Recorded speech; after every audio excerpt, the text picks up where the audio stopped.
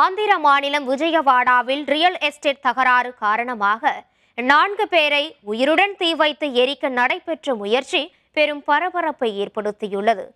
ஆந்திர மாநிலம் விஜயவாடாவை சேர்ந்த கிருஷ்ணா ரெட்டி என்பவருக்கும் கங்காதரன் நாகவள்ளி வேணுகோபால் ரெட்டி சிவராமகிருஷ்ண ரெட்டி ஆகியோருக்கு இடையே நிலம் விற்பனை தொடர்பாக பிரச்சனை இருந்து வந்துள்ளது. இந்த நிலையில் கிருஷ்ணா ரெட்டி நிலம் தொடர்பான பிரச்சனைகளை பேசி தீர்த்து கொள்ளலாம் என கூறி கங்காதரன் வேணுகோபால் ரெட்டி உட்பட நான்கு பேரையும் விஜயவாடாவில் உள்ள ஒரு பகுதிக்கு வரவழைத்துள்ளார். பேச்சுவார்த்தைக்கு அங்கு காரில் வந்த நான்கு பேரையும் வரவழைத்த கிருஷ்ணா ரெட்டி அவர்கள் காரில் இருந்து இறங்குவதற்கு முன் தன்னிடம் இருந்த கேனில் இருந்த பெட்ரோலை கார் மீது ஊற்றி நான்கு பேரையும் உயிரோடு கொளுத்த முயற்சி செய்து கார் மீது பெட்ரோலை ஊற்றி தீ வைத்துள்ளார்.